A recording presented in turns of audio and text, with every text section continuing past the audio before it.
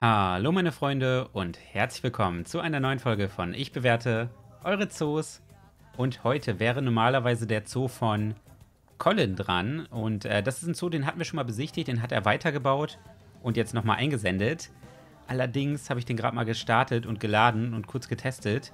Und ich habe wirklich nur 5 FPS oder so, wenn es hochkommt. Also der ist wirklich unspielbar, der ist leider viel zu groß. Und deshalb kann ich den leider nicht besichtigen. Tut mir sehr, sehr leid, Colin. Aber ich kann halt auch nur das tun, was mein PC hergibt. Und äh, ja, der Zoo ist leider wirklich unspielbar. Also Leute, ich kann euch nur noch mal ans Herz legen. Baut lieber ein bisschen kleiner und dafür ein bisschen mehr Details. Und dann äh, macht das Ganze uns allen auch mehr Spaß. Und dann klappt das Ganze auch äh, alles ein bisschen leichter. Ähm, aber es ist ja auch halb so wild. Wir haben ja schon wenigstens mal was vom Zoo gesehen, weil ich habe ja schon mal ein Video über, das, über den Zoo gemacht. Könnt ihr auch gerne mal auf meinem Kanal nachsuchen. Zoo Ölsa heißt der. Und äh, ja, schaut euch das einfach an.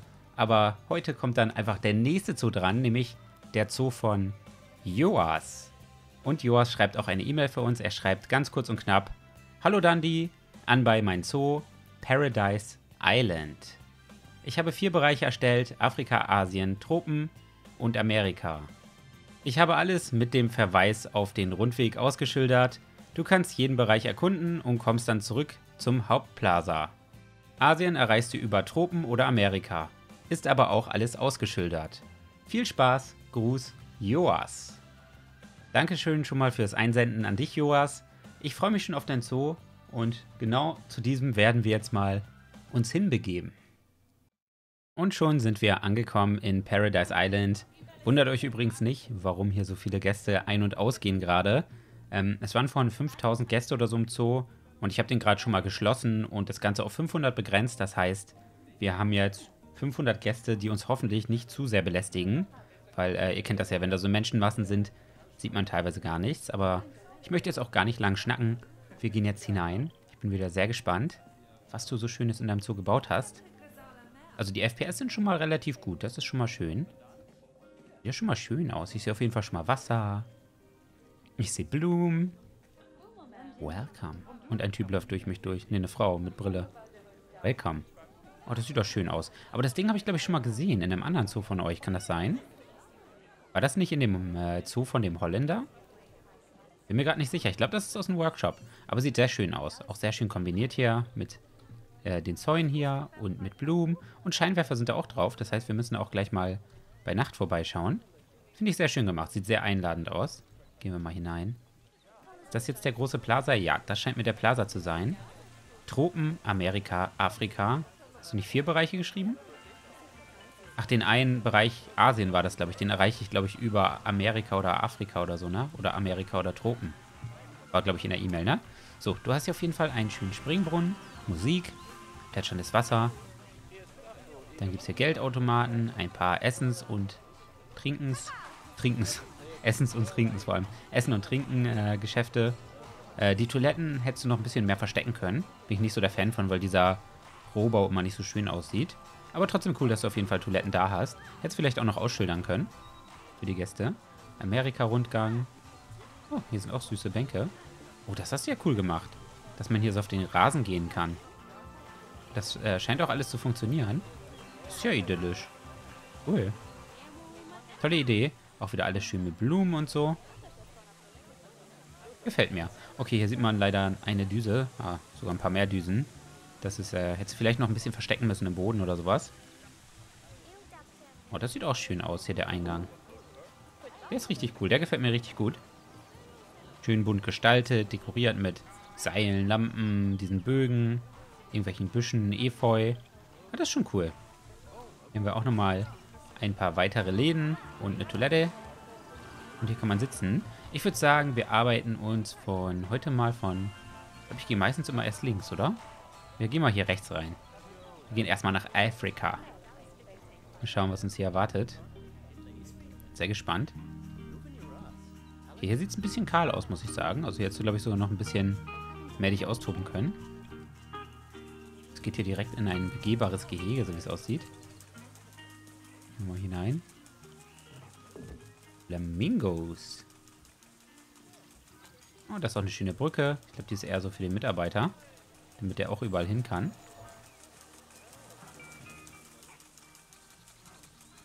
ist doch ganz cool. Also hier hast du es sehr schön gemacht mit der Abgrenzung. Das ist auch schon das nächste Gehege.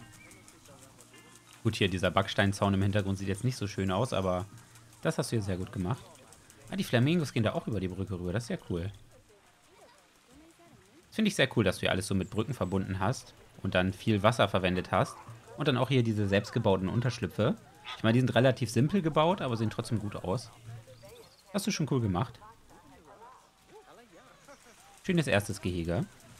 Ist aber ja nicht wirklich ein begehbares Gehege, wie ich vorher gesagt habe. Oh, hat diese... Oh, die Brücke braucht Stützen. Das sehe ich so schon. ich weiß, momentan äh, spreche ich immer die Stützen an, aber ist halt unrealistisch, wenn irgendwas schwebt, ne? Was eigentlich nicht schweben könnte. Und ist auch ein bisschen schade, dass du hier die Brücke noch nicht mehr ausgeschmückt hast. Ist halt einfach nur so ein Standardweg darüber. Schnell durch, bevor sie schließt. okay, das ist auch ein Workshop-Haus. Also du scheinst relativ viele Sachen aus dem Workshop benutzt zu haben. Hast du leider nicht reingeschrieben in die E-Mail. Baobab Burgers. Ist auch ein sehr schönes Haus, ne? Das haben wir auch schon öfter gesehen. Cool. Ja. Brauchen wir jetzt aber jetzt, glaube ich, nicht nochmal genauer angucken. Das kennen wir ja schon. sind auch nochmal Toiletten. Das finde ich sehr cool, dass du das hier mit diesen Baumstämmen abgesteckt hast und dahinter dieses Elefantengras. Das sieht sehr cool aus. Gefällt mir. Noch ein Affenbrotbaum. Oh, hier geht's rein. Oha. Aber ich will eigentlich... Gehe ich zu den Elefanten? Ich gehe mal hier rein. Ist ja auch ausgeschildert? Afrika-Rundgang. Okay, da müssen wir hier lang. Oder gehen wir erst zu den Af Elefanten? Wir gehen einmal bei den Elefanten, Lukan. Nicht, dass ich die gleich übersehe. Ah, cool. Hier hast du auch schön die Bordsteine und so abgesteckt. Das gefällt mir sehr gut von der Gestaltung her. Das Ding sieht auch aus, als käme es aus dem Workshop, wenn ich ehrlich bin. Hinterfrag das jetzt lieber mal, weil ich habe jetzt schon äh, zwei Sachen aus dem Workshop gesehen, glaube ich. Ähm, kann gut sein, dass du dich häufiger bedient hast bei Gebäuden. Kann ich auch verstehen, das ist ja gar nicht so schlimm. Mir fällt das auch immer schwer, Gebäude zu bauen. Schönes, simples Le Löwengehege. Kann man natürlich noch ein bisschen mehr gestalten, aber ich finde es cool, wie du das hier mit den Felsen gemacht hast. Einmal rumherum. Dann hier ein schöner Aufgang. Ich glaube, hier ist eine Höhle. Können wir, glaube ich, gleich nochmal von der anderen Seite lieber schauen.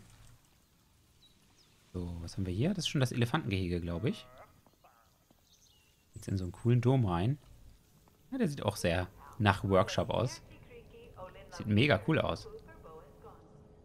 Der gefällt mir. Der sieht von innen richtig cool aus. Tolle Form. Der ist, glaube ich, auch nicht rund. Der ist so ein bisschen oval, kann das sein? Strauße und Elefanten sehe ich hier. Vertragen die sich? Hm. Das weiß ich nicht.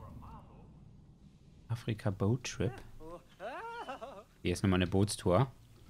Ja, die machen wir nur, wenn wir... Ich glaube, der Zoo ist relativ groß. Also die Bootstour sparen wir uns, glaube ich. War gut, dass ich hier lang gegangen bin. Schätze ich mal. Ja. Weil, ähm, ich glaube, der Rundgang führt hier nämlich nicht hin. Nehmen wir mal zurück das Stück. So. Jetzt geht's hier rein. Afrika-Rundgang. Die Gänge sind übrigens sehr schmal. Also mit 5000 Besuchern im Zoo wäre das, glaube ich, hier richtig Gedränge gewesen. Ich bin froh, dass ich das äh, begrenzt habe. Was haben wir denn hier? Ah, hier kann man das erste Tier sehen. Ja, da ist der Bildschirm aus. Ich weiß nicht, was hier drin ist. Gucken wir mal. Ah, hier ist natürlich mit den Barrieren bin ich halt kein großer Fan, ne? Das Gehege sieht sowieso noch sehr kahl und leer aus. Also sehr rohbaumäßig. Im Zoo sind leider Gehege in echt auch so. Oder öfters mal so. Was ich sehr schade und traurig finde. Oh Gott, nicht, dass hier die Tiere gestorben sind. Hm, gehen wir mal nicht von aus. Das ist einfach ein leeres Gehege. Ah, jetzt können wir die Löwen nochmal sehen. Das ist echt schön gemacht. Jetzt sieht man im Hintergrund auch nochmal dieses schöne Elefantenhaus. Hier oben können die nochmal rauf. Das ist so ein bisschen König der Löwen-Style. Hier auch ein schöner Unterstand. Da hinten können die noch hinklettern. Das sieht doch cool aus. Tolle Felsarbeit. So, was haben wir hier? Glaube, das hier hätte ich sogar auch abgerundet. Das Haus. Weil du den Weg hier auch abgerundet hast. Also entweder musst du den Weg auch eckig machen oder das Ganze auch abrunden. Also so sieht das ein bisschen komisch aus, dass es hier so ein bisschen entfernt ist. Das ist aber, glaube ich, das leere Gehege, was wir gerade gesehen haben. Ja. Das ist leider leer.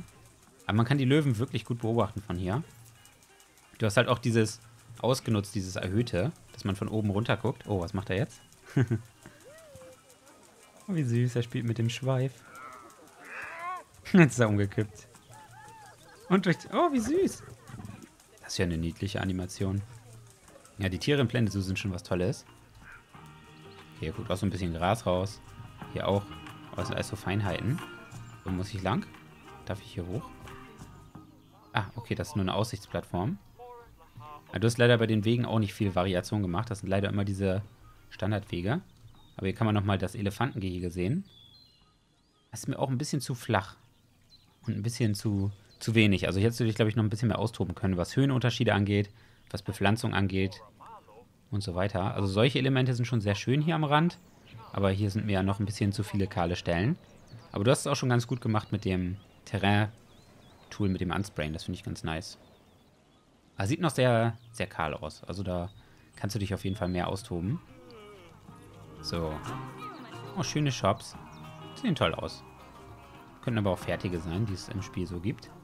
Will ich nicht sagen. Das hast du auch wieder sehr schön gestaltet hier mit den Zäunen und diesem Blumenbeet und den Elefantenstatuen. Ja, das ist mega. Das sieht schön aus. Hier auch so eine schöne Bankreihe nochmal, wo man sich hinsetzen kann. Also ist schon sehr stimmig, was du gebaut hast. Afrika Boat Trip. Ja, habe ich ja gerade schon gesagt mit Afrika Boat Trip. Guck mal, selbst hier hast du sogar Blumen und so eingebaut. Afrika Rundgang. Hier sind nochmal mehr Toiletten und... Also Toiletten und Essensläden gibt es hier genug. Das hast du auch sehr schön gemacht. Also das sieht ja auch wieder sehr cool aus hier, diese Ecke. Mit den Tischen. Und die Dinger würde ich sogar, glaube ich, noch mehr verstecken. Also, dass man die gar nicht sieht. Am besten irgendwie um die Ecke oder sowas. Weil ich finde die mal nicht so schön, diese... Oh, jetzt habe ich ein Leck gehabt. Diese, ähm... Ja, Mitarbeitereinrichtung mit Strom und Wasser und sowas. So, hier gibt es auch wieder ein Gehege. Kaffern befüllt. Da ist auch der erste Wasserfall. Da sieht man leider so ein bisschen die Düsen. Uh, okay, das Plätschern kommt hier oben ganz gut raus, aber... Hm. Irgendwas stört mich da dran so ein bisschen. Kann auch sein, dass es der rohe, rohe Weg hier ist. Also dieser... Ich finde gerade von unten sehen immer diese Standardwege sehr doof aus. Sieht halt aus wie so... Einfach Beton. Und man sieht, ja...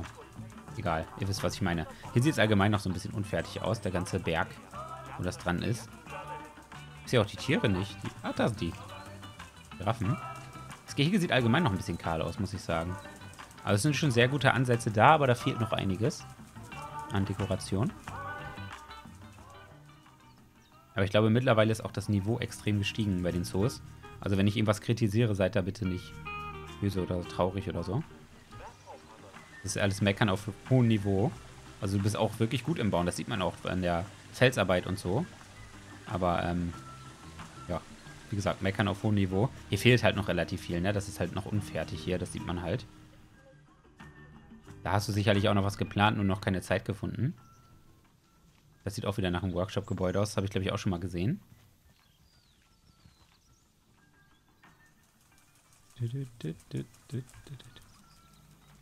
Das brauchen wir uns, glaube ich, nicht weiter angucken. Das ist auf jeden Fall ein Workshop-Gebäude. Das hier ist ganz schön. Eine schöne Plattform. Gut, die Gehege, habe ich ja gerade schon gesagt, sehen leider ein bisschen roh aus. Auch hier der Hintergrund und so. Äh, da kann ich es euch immer empfehlen, baut ein bisschen kleiner und dafür macht das Ganze ein bisschen fertiger. Also statt drei oder vier Bereichen zu bauen, einfach nur einbauen. Was ist das hier? Das denn? Die kann, die kann fliegen, die Frau. Was sind wir denn hier? Vivarium. Ist ein Tier? Ach, da ist das Tier. Ich dachte gerade, das ganze Ding hier wäre ein Tier. Sah irgendwie so aus. Aber das ist nur ein Goliath Frog. Ja, die Vivarien gucken wir uns erstmal nicht an. Hier hast du dich auf jeden Fall so ein bisschen im Untergrund versucht. Sieht natürlich auch noch ein bisschen unfertig aus, ne? Also wenn man das hier, glaube ich, noch so mit Holzstützen oder so macht, das könnte echt cool sein. Aber das ist auch dann mit dem Geländer nicht so passend. Also, hm. Hier hättest du das Geländer hier wegmachen müssen und die Wand direkt daran oder so. Auf jeden Fall noch ein bisschen mehr ausschmücken. Sieht ein bisschen langweilig hier auch aus. Und halt auch noch unfertig, ne? An der einen oder anderen Stelle. So. Ich hoffe, ich bin jetzt richtig gegangen. Ach, jetzt sind wir hier wieder rausgekommen. Okay, ich verstehe. Ah, okay. Boottrip. Wo ist denn jetzt der Rundgang? Afrika-Rundgang. Da war ich doch gerade. Afrika-Rundgang. Ich folge mal den Schildern, Leute. Habe ich doch gerade gemacht, oder? Gerade irgendwie bin ich falsch abgebogen. Weil er, er hat doch geschrieben, dass ich am Ende wieder beim Plaza rauskomme. Aber ich habe ja auch kein Schild mehr gesehen. Ne, es ist genau der gleiche Weg. Hm, wir fliegen zurück zum Plaza. Keine Ahnung, was ich da jetzt falsch gemacht habe. Also hier sind wir gerade lang gegangen. Hier rüber, das ist der Afrika-Bereich, den haben wir gesehen. Also irgendwas habe ich falsch gemacht mit dem Rundgang, definitiv. Er hat mich auf jeden Fall hierhin wieder zurückgeführt. Wahrscheinlich hätte ich das Stück einfach zurücklaufen müssen. Habe ich wahrscheinlich dann nur verpeilt. Egal, gehen wir wieder zum großen Plaza. Ich denke mal, hier können wir dann weitermachen. Gehen dann in den nächsten Bereich. Ah, das ist sogar der, den ich vorhin auch hatte. Perfekt. So, den haben wir gemacht, den Afrika-Rundgang. Jetzt geht's in die Tropen, würde ich sagen. Okay, das ist natürlich ein bisschen unpraktisch hier platziert. Ich weiß auch nicht, was das darstellen soll, wenn ich ehrlich bin. Warum hier so eine Klippe drin ist. Ähm, weil das verdeckt auf jeden Fall das Schild so ein bisschen. Aber der Eingang an sich sieht schön aus. Sehr schön gemacht. Die ähm, Bordsteine abgesteckt, der Nebel sieht cool aus. Ja, das Ganze sieht richtig cool aus. Auch mit den Palmen und sowas. Sehr atmosphärisch. Freue ich mich schon drauf. Was uns hier erwartet. Ist auf jeden Fall ganz anders als das, was du vorhin gebaut hattest. Hier ist das erste Gehege, ein Affengehege. Gut, hier am Rand fehlt auch wieder ein bisschen was. Was sind denn das für Äffchen? Schimpansen, schätze ich mal? Wahrscheinlich sind es jetzt Bonobos, weil ich verwechsel die immer. Nee, Schimpanse. Ha, ich bin so gut. Auch sehr interessante Klettermöglichkeit. So. Ja, hier fehlt auch noch ein bisschen was. Das sieht auch ein bisschen hm, random aus mit den Büschen und so. So, ich beeile mich mal ein bisschen. Oh, das ist hier auch wieder schön. Gut, der Weg ist hier ein bisschen, ähm, ja, doof. Aber hier hast du es schon ganz gut versucht, alles abzustecken und so. Hier guckt es aber leider noch ein bisschen der Bordstein durch. Das sind aber alles so Feinheiten. Oh, Leistenkrokodil. Mit Underwater Viewing so ein bisschen. Da sieht man es auch. Aber das ist nur so Mini-Underwater Viewing. Hast du eigentlich ganz cool hier gemacht mit den Klippen, muss ich sagen. Und den Pflanzen. Das sieht cool aus. Guck mal, wie groß das ist. Also ich glaube, das snackt Menschen so weg. Wobei die ja immer ihre Todesrolle machen, ne, Krokodile. Finde ich ja total brutal. Wenn die dann der Beute da so ein Stück rausreißen mit der Todesrolle. Krokodile sind fiese Tiere. Was hat sie denn? Die hat gerade den Dandy gemacht, wenn keine Toilette vorhanden ist.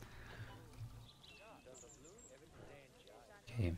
Wieder sehr schön gebaut. Und wieder eine sehr schöne, einen sehr schönen Essensbereich gemacht. Auch schön. Wieder eine ganz andere Idee hier mit dem Sand und so. Musik. Laternen hier auch oben drauf. Also scheint es auch gut beleuchtet zu haben. Hier gibt es dann wieder alles, was das Herz begehrt. Also Essen und Trinken hast du wirklich genug eingebaut in dein Zoo. So, hier haben wir Oran-Utans. Ah, ich habe einen Leck. Okay, ähm, hier hast du auf jeden Fall selber so ein Geländer und sowas gebaut. Das finde ich ganz cool. Gut. Ich gucke jetzt erstmal in diese Richtung. Auch sehr schön.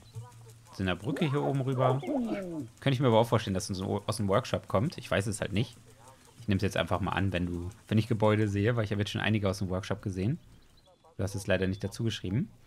Okay, haben wir auch wieder relativ identisch das mit den Krokodilen. Hm, vielleicht hätte es auch ein bisschen mutiger sein können und den Underwater Viewing so ein bisschen, oder das Underwater Viewing ein bisschen höher machen können, dass man ein bisschen mehr sieht. Weil jetzt können es, glaube ich, nur Kinder sehen oder Leute, die sich bücken, was unter Wasser los ist. Äh, das hättest du auch noch hier ein bisschen näher an den Bordstein machen können, dass die Leute da nicht so reinbacken mit den Füßen.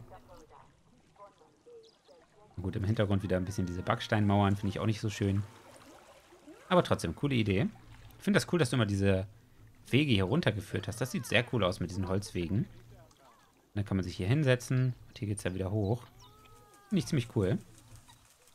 So, ja. Hoffe, ich verlaufe mich nicht. Nö. Alles ausgeschildert. Wunderbar. Was haben wir denn hier? Uh. Was sind es? Nialas? Ich habe keine Ahnung. Ich verwechsel die eh immer. Okapi. Ja, whatever. Ich weiß nicht, ich verwechsel die irgendwie alle. Okapi, Niala und Bongo. Die drei verwechsel ich immer. Aber auch sehr cool mit dem Glasdach da oben. Kommt ein bisschen natürliches Licht da rein. Cool. Hier kann man einmal außen rumlaufen um das Schimpansengehege, so wie es aussieht. Und hier kann man auch nochmal reingehen. Hier haben wir leider wieder das gleiche Problem. Rund und eckig. Das passt immer nicht so zusammen. Ich hätte das, glaube ich, auch so gemacht, dass der Weg direkt bis zur Scheibe oder so geht. Also gar nicht hier noch so ein Geländer vor. Irgendwie so doppelt gemoppelt. Ich meine, die Scheibe hält dann ja eigentlich schon genug auf, ne? Ist aber schön, dass man die hier beobachten kann. Aber das Gehege sieht auch noch, ja, ein bisschen kahl aus und auch hier hinten im Hintergrund ist es noch nicht so schön gestaltet. Ich glaube, hier ist wieder viel Liebe zum Detail äh, verloren gegangen durch äh, Größe des Zoos. Also du hast hier wirklich viel Arbeit reingesteckt. Das sieht man, du hast alle Bordsteine abgesteckt und so. Aber in den Gehegen fehlt mir das so ein bisschen. Mir aber schon öfter aufgefallen, dass ihr ähm, euch bei Besucherwegen und so viel mehr austobt als in den Gehegen. Ich weiß gar nicht, woran das liegt. Sind die Gehege nicht viel wichtiger irgendwie? Oh, die gehen genau aufeinander zu. Was machen sie? Ich dachte, sie machen irgendeine Animation oder so. Wow. Auch kleines, süßes Gehege. Hier finde ich das schon schöner. Hier ist so wenigstens Fels im Hintergrund. Sieht auf jeden Fall viel, viel besser aus. Auch wenn es nur so eine stumpfe Felswand ist. Sieht aber viel besser aus als so ein Backstein-Hintergrund oder sowas. Halt, diese Glasscheiben sind natürlich auch ein bisschen langweilig. Da finde ich es immer schon ganz schön, wenn man einfach nur diesen Pillar zum Beispiel auswechselt mit Holz oder so. Einfach weil es dann nicht dieses Standard aus dem Spiel ist. Ich glaube, das bemängel ich aber auch mittlerweile nur, weil ich mich daran so ein bisschen äh, satt gesehen habe. Oh, Tropenrundgang. Gehen wir den jetzt erst zu Ende und dann gehen wir zurück zum Asia. Weil du hast ja geschrieben, ich muss entweder durch die Tropen oder durch Amerika nach Asien. Ich glaube, wir gehen gleich durch Amerika nach Asien. Hier ist auch wieder beleuchtet. Sieht auf jeden Fall sehr schön aus hier, der Eingang. Auch wieder Musik. Wunderbar. Hier auch wieder schöne Felsarbeit. Ah, das hier ist auch leider ein bisschen zu eckig und kantig. Mir gerade auch schon öfter aufgefallen. Aber das Wegenetz ist sehr angenehm, muss ich sagen. Also man kann sich sehr gut in deinem Zoo bewegen. Man verläuft sich auch nicht mit den Schildern. Und ich komme jetzt hier auch wieder raus. Das heißt, ich kann direkt rausgehen hier. Das ist sehr praktisch. Das heißt, man muss keinen Umweg laufen. Also sehr gut durchdacht. Jetzt geht's nach Amerika. Wieder ein ganz anderer Stil. Das finde ich mega cool. Also das ist sich wirklich ausgetobt hier. Gut, hier ist natürlich ein bisschen missraten, aber das ist auch schwierig. Also ich glaube, mit so ein paar kleineren Felsen oder so hättest du es hier schon abschmücken können. Ist aber schön. Wieder ganz andere Häuser hier gebaut. Im Stil her. Hier auch wieder eine Toilette. Gut, hier am besten einfach... Also ich glaube, ich würde hier wirklich einfach richtige Türen vorsetzen, dass man das gar nicht sieht bei so einem kleinen Haus. Aber auch coole Idee, den mit dem Baumstamm hier. Oh, hier geht's rein. Hier kommen wir wieder zurück, glaube ich. Cool. Gehen wir mal hinein.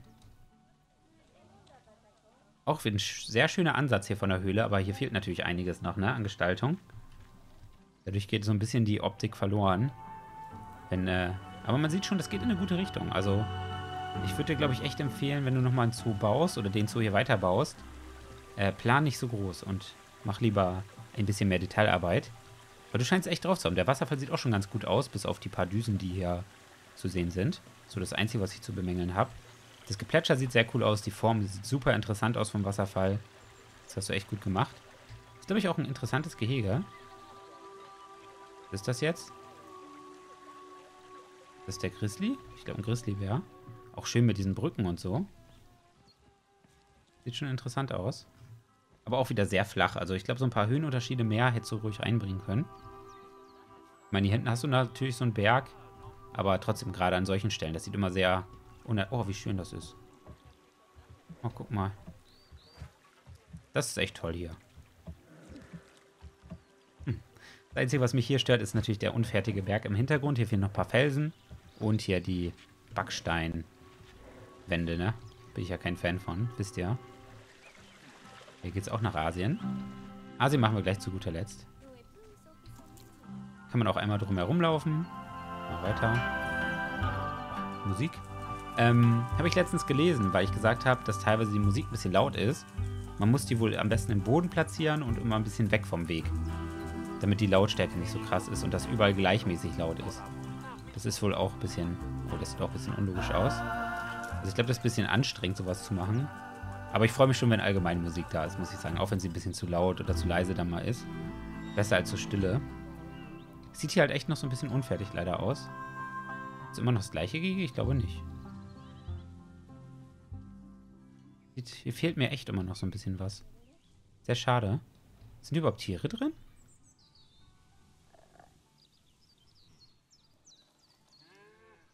Ich erklimme den Berg.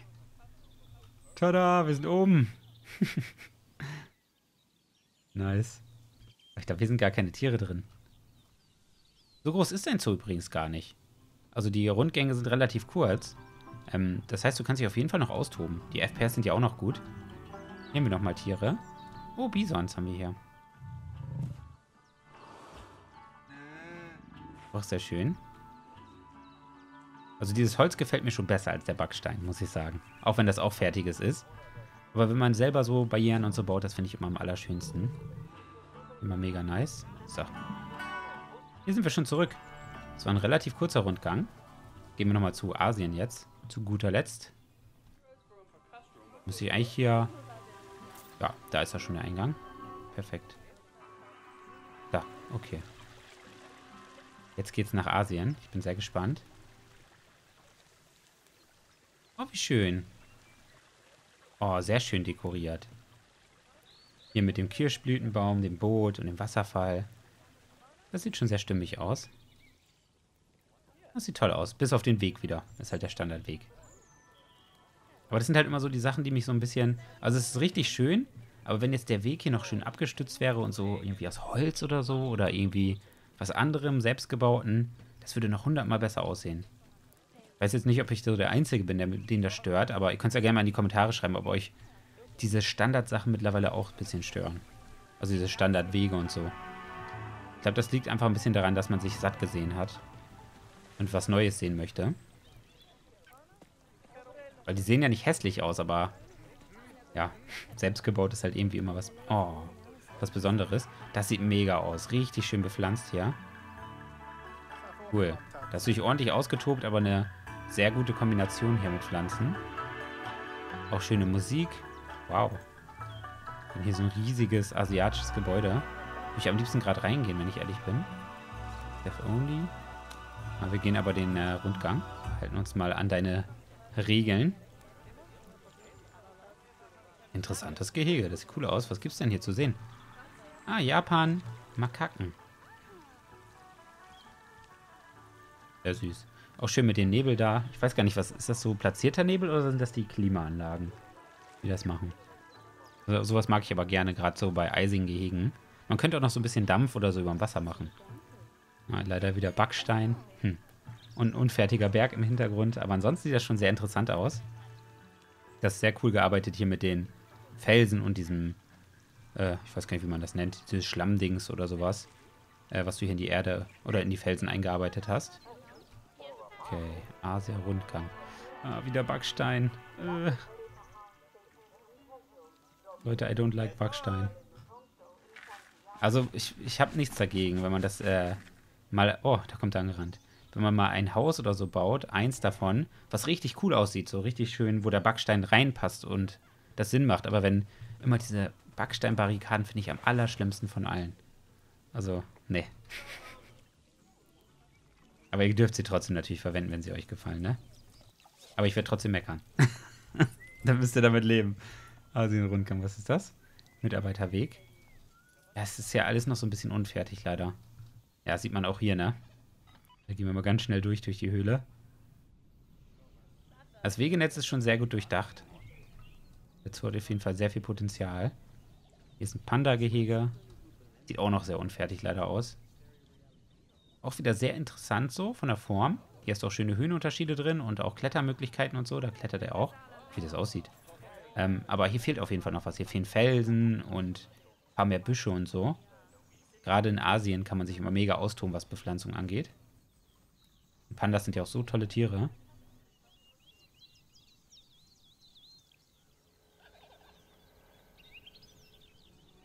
So, das ist auch wieder sehr schön. Also die Essensbereiche hast du echt gut gemacht. Gefällt mir. Kann man auch direkt nochmal die Pandas sehen. Sehr cool. Im Hintergrund sieht man auch diese asiatischen Gebäude. Gefällt mir auch. Hier hast du schon wieder richtig schön bepflanzt. Das sieht echt toll aus. Da könnte man echt schon wieder so einen Screenshot von machen. Das sieht super aus mit diesen ganzen bunten Bäumen und so. Bis auf den Weg natürlich wieder, ne? Leider, leider. Du hast leider echt nur mit diesen Standardwegen gearbeitet. Hier hast du nochmal so einen kleinen Unterstand gemacht. Wollen wir noch mal gucken. Oh, das sieht schön aus. Das ist ein schönes Gehege. Das sieht auch schon ein bisschen fertiger aus. Sieht auch mit dem Schnee sehr schön aus. Da geht der Tiger gerade in die Hülle rein. Cool. Aber auch hier. Er ist überall. Der Backstein. Der Backstein des Todes. Das ist auch wieder schön ausgeleuchtet. Ich bin gleich mal auf die Nacht gespannt. Also es scheinen hier relativ viele Wege ähm, von oben zu sein. Aber man hat halt, halt immer so einen schönen Blick auf die Tiere, ne? Von oben herunter. Das habe ich ja schon öfter gesagt, das ist echt cool. Kann man auch nochmal so ein bisschen rein lunkern. Mit ein bisschen Glück sieht man dann die Tiere. Hier geht's zurück. Ah, oh, das ist auch wieder schön. Hier mit dem Wasser und so. Die ganzen bunten Bäume, der Schnee und dann diese wunderschönen Tiger. Sehr cool. Sehr schön gemacht hier. Das gefällt mir gut. Hier hast du auch mal selber eine Barriere wieder gebaut. Sieht halt gleich hundertmal besser aus, ne? Wenn man selber sowas baut. Auch wenn es eine relativ simple Barriere ist. Aber cool. Gefällt mir. Jetzt geht es, glaube ich, in das große Gebäude. Oh ja. Ein interessantes Dach, was du da gebaut hast. Nochmal ein schöner Springbrunnen. Oh, sehr schön dekoriert. Das ist toll hier. Auch da oben noch die ganzen Statuen und so. Cool. Und jetzt sind wir wieder hier, ne? Also das Wegenetz funktioniert wirklich 1A bei dir. Ich laufe jetzt aber hier nochmal rum. Genau, hier kann man nämlich auch nochmal komplett rumlaufen. Das ist das Tigergehege. Hier kann man nochmal hoch. Auch nochmal... Ah, ne, das Panda-Gehege. Okay, ich bin direkt verwirrt. Bin ich jetzt rausgelaufen? Hier ist das Tigergehege. Ah. Kann man das aber auch nochmal alles sehen von allen Seiten. Jetzt müssen wir eigentlich nur noch hier rumgehen, ne?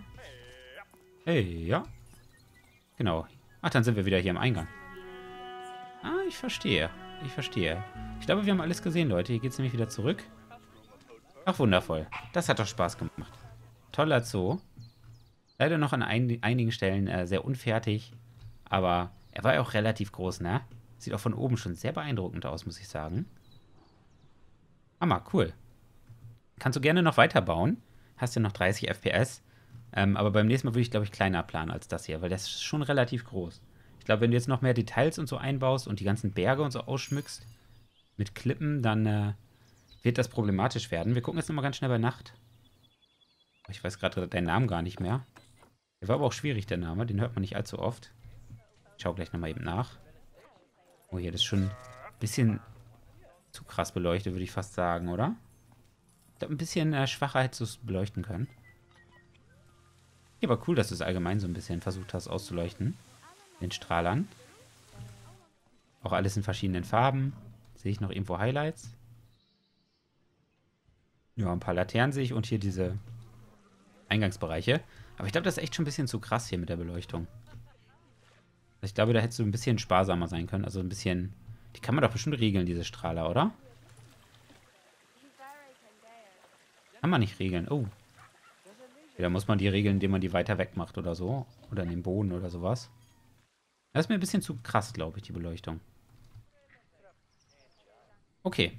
Das war auf jeden Fall Tropical Island. Müsste es gewesen sein von, ich sag's euch sofort. Erstmal machen wir jetzt hier nochmal ein wunderschönes Bild auf den Eingang. So. Okay, der Name war Paradise Island. Ich habe mich da gerade versehen. Ähm, das war auf jeden Fall Paradise Island von Joas. Vielen, vielen Dank, Joas, fürs Einsenden. Hat wieder sehr viel Spaß gemacht. Schreibt jetzt mal in die Kommentare, wie ihr den Zoo fandet. Und falls ihr mal einen Zoo habt, den ihr einsenden wollt, den ich mir mal angucken soll, dann könnt ihr es gerne tun. Unten in der Videobeschreibung stehen dort dazu alle Infos. Ansonsten bedanke ich mich vielmals für eure Aufmerksamkeit. Ich wünsche euch noch einen angenehmen Tag. Macht's gut, haut rein, bleibt gesund. Euer Dandy.